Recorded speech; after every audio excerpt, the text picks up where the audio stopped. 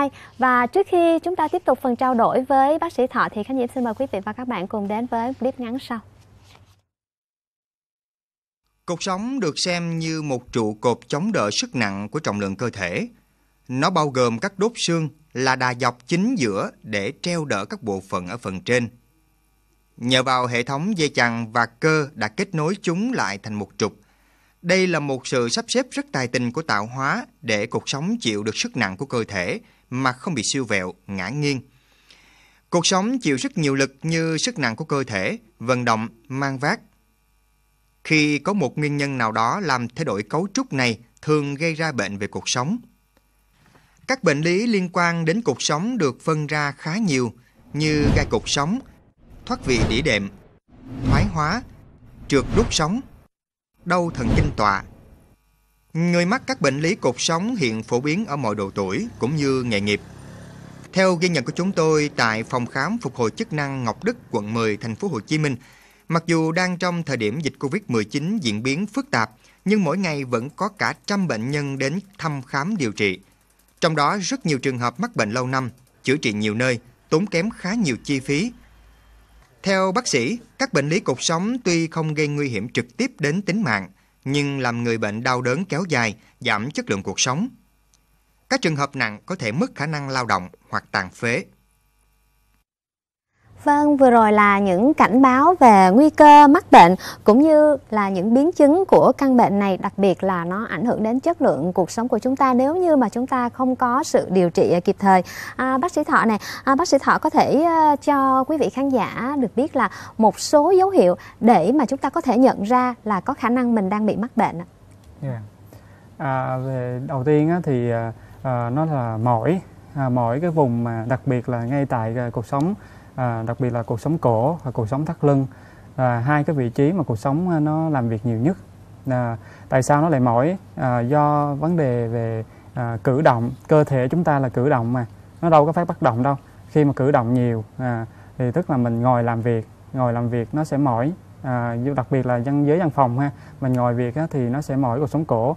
Tại sao mỏi? Khi mình cúi xuống mình cúi xuống như thế này thì cuộc sống cái, cái cơ phía sau nó sẽ làm gồng nó phải giữ lại. Khi mình cúi thì cái cơ nó làm áp lực lên nhiều nó gây bắt quân bình lực cơ nó sẽ gây ra vấn đề mỏi cơ là như vậy. Đó là một cái dấu hiệu đầu tiên về bệnh lý cuộc sống.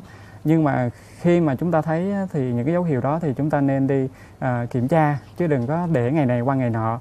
Khi mà để qua nó sẽ qua cái biểu hiện là căng cơ dạ. căng cái cơ cột sống cổ khi mà nó căng cơ sống cổ à, thì nó làm cho cái tình trạng cử động chúng ta nó khó khăn hơn. À, đặc biệt à, khi à, một ngày dài làm việc của chúng ta thì tối về ngủ thì sáng dậy cuộc sống nó bị cứng đờ nó cử động không được say không được à, nghiêng không được không làm được gì hết rất là vâng. đau và kèm theo rất là đau. Thì lúc đó là nó đó là một giai đoạn gọi là giai đoạn cấp. À, rất nếu mà không biết là chúng ta hay ừ. đi cạo gió đúng không ạ? Đúng rồi cạo gió rồi đi ờ, đắp thuốc tùm lum hết. Vâng. à, thì nếu mà cạo gió sức dầu nóng thì nó càng cho cái tình trạng đó nó càng nguy hiểm hơn. Vâng. nó sẽ càng đau hơn nó sưng nhiều hơn. Ừ. là cái đó là sai lầm ha. À, tiếp theo khi mà nó bị à, cử động khó khăn về cuộc sống cổ thì nó chuyển giai đoạn cấp thì sau này thì nó đã có rồi nó có cái tiền sử rồi thì nó sẽ cảm giác là nó sẽ đau chuyển qua đau đau âm ỉ. À, nó sẽ đau âm ỉ đau có thể ngày này qua ngày nọ và khi mà nó chuyển có lúc thì nó hết à, lúc thì nó đau khi mà nghỉ ngơi thì nó giảm. Rồi mình cũng cái uh, triệu chứng như vậy mình cũng bỏ qua mình thấy ừ nó không có lá không có đáng là gì hết. Rồi nó sẽ chuyển qua những cái giai đoạn khác nó sẽ chuyển qua là đau cái đau liên tục hơn đau nhiều hơn. Rồi cái đau lúc mà đau nó đau lan nó đau lan theo cái ờ, thần kinh. Ví dụ như cuộc sống cổ nếu mà bị tổn thương nó sẽ đau lan theo bả vai.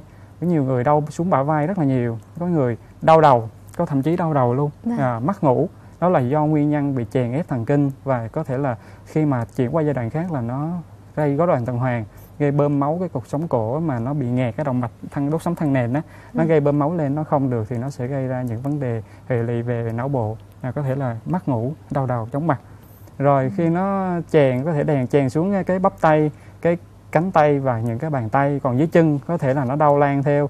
À, mình hay nói đau lan thần, thần kinh tọa đó nó đau xuống mông xuống đùi xuống chân xuống cái ngón chân. Và khi qua được cái giai đoạn đau mình sẽ chuyển tới giai đoạn là tê. À, đó là cái dấu hiệu điển hình của vấn đề chèn ép thần kinh. Mà khi nó tê như vậy thì mình để lâu thì nó đã chèn ép rồi. Thì những cái cơ mà nó bị chèn ép nó không còn làm việc được nữa thì nó sẽ dẫn tới vấn đề teo teo cơ. Mà đã teo cơ thì rất là yếu Dạ. yếu xong rồi mình sẽ cử động những cái à, chi thể của chúng ta rất là khó khăn. À, đó là những cái dấu hiệu rất là điển hình. Ừ. Vậy là khi mà chúng ta nhận thấy cơ thể có cái sự khác lạ, đặc biệt là những cái dấu hiệu mới chớm thì có lẽ là chúng ta phải nên thăm khám phải không bác Đúng sĩ? Rồi. Bởi vì à, à Khánh Diễm nghĩ rằng cái việc mà chúng ta khám đầu tiên thì nó sẽ giúp mình chữa trị nó nhanh hơn hay là nó, nó dễ hơn, nó dễ hơn phải không ừ, ạ? À, cảm ơn những chia sẻ vừa rồi của bác sĩ Thọ. Ừ. À, thưa bác sĩ Thọ, Khánh Diễm được biết là trong các bệnh lý cột sống á, thì bệnh thoát vị đĩa đệm á, À, có khả năng để lại hậu quả nặng nề à, thì bác sĩ có thể chia sẻ một chút về cái căn bệnh này kỹ hơn. Yeah. Dạ. À, về vấn đề thoát vị đĩa đệm thì tôi cũng đã trình bày sơ qua à, thì tôi xin trình bày lại là khi mà cái đĩa đệm trong đốt sống à, khi mình làm sai tư thế thì nó sẽ thoát khỏi cái chỗ ngay cái khoang giữa hai cái đốt sống đó nó thoát ra phía sau ống sống thì lúc đó là phía sau ống sống thì thần kinh rất là nhiều. Và đặc biệt là cuộc sống uh, cổ nó nói ờ, uh, tỷ có cái tỷ sống trong cái ống sống đó nó nói từ từ cuộc sống cổ xuống cái đoạn dưới uh, uh, cuộc sống thắt lưng đoạn L1 L2 cái vùng tỷ rất là nguy hiểm.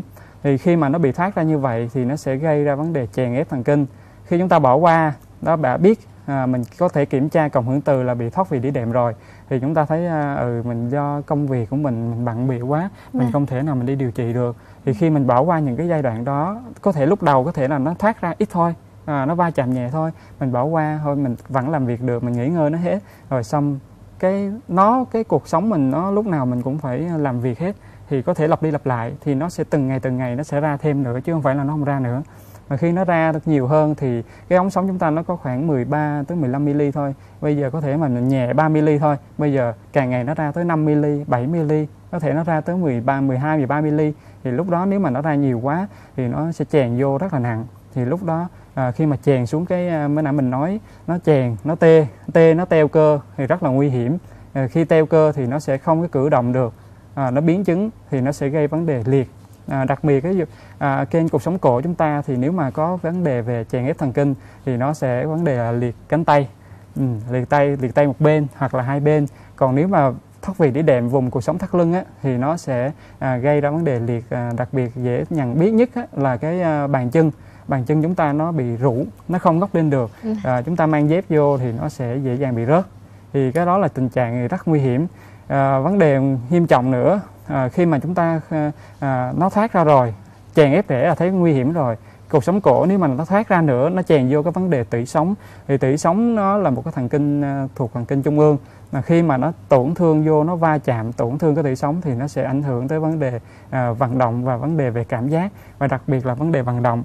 Nó sẽ làm cho hai tay chúng ta cảm giác như là yếu hoàn toàn hai chân yếu hoàn toàn dáng đi rất là xấu. À, lúc nào nó cũng tăng cái chân lực cơ cái phản xạ lúc nào nó cũng tăng. Ví dụ mình ngồi mà mình duỗi chân quá nó sẽ giật. À, nó là cái phản xạ điển hình của vấn đề chèn ép à, tủy sống. Cái đó là rất là nguy hiểm à, cái nguy hiểm là nữa là mình để lâu. Vấn đề cuộc sống cổ thì nó sẽ làm cho à, thiểu năng máu tuần hoàn tức là bơm máu lên não kém gây ra vấn đề chóng mặt đau đầu mất ngủ. Đó là cái biến chứng à, à, cái đó là biến chứng mà sau này biến chứng sâu của vấn đề thoát vị đĩa đệm rồi về cuộc sống thắt lưng à, cuộc sống cổ luôn nếu mà thoát thì nó chèn nặng quá nó sẽ đặc biệt là cái cuộc sống thắt lưng chèn vô chùm đuôi ngựa thì ừ. nó sẽ biến chứng nó làm cho mình kiểm soát tiêu tiểu không được à, nín nín không được lúc cứ muốn là ra thôi là yeah. Dạ. không nín được đó là cái nguy hiểm rất là nguy hiểm à, về cái vấn đề tiểu tiện thì lúc nào gặp tới cái giai đoạn đó thì chúng ta bắt buộc à, phải đi phẫu thuật thôi chứ không còn mà kiểu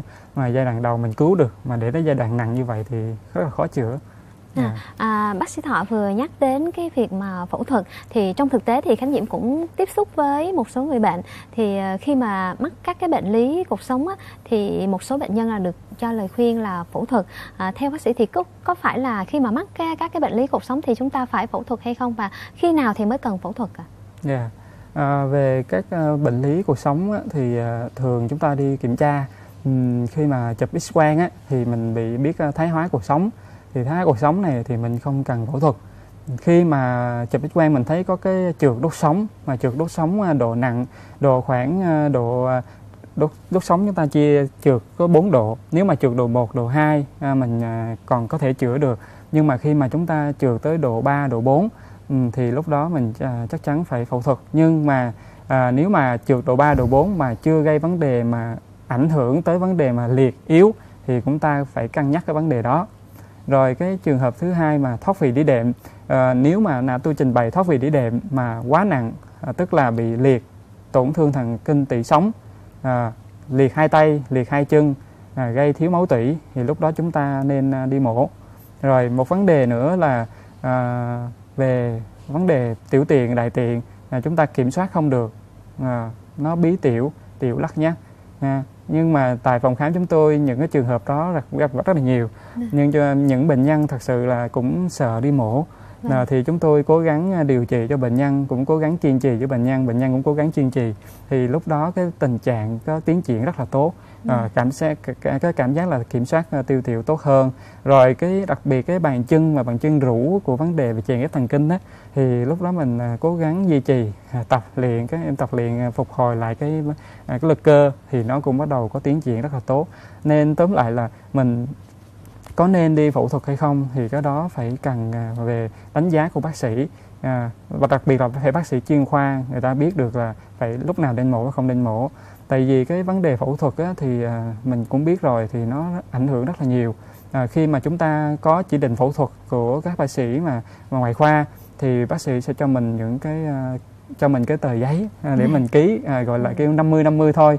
Thì 50 50 này á, thật sự là à, rất là cao tức là 50 cái vấn đề xấu á vâng. thì bệnh nhân đến với phòng khám mà đa số là cũng mổ có nhiều trường hợp mổ vâng. mà để lại cái di chứng nó nó, nó nghiêm trọng hơn vâng. à, ban đầu bệnh nhân bị thoát vị rồi vẫn đi đứng bình thường được không có vấn đề tiêu tiểu gì hết nhưng mà mổ xong rồi cũng có người yếu hơn có người thậm chí nằm một chỗ nên nó rất là nguy hiểm nên cái này thì mình phải cần xem xét à, tại bác sĩ chuyên khoa để mình có thể, thể tư vấn và tìm hiểu về cái bệnh lý nhiều hơn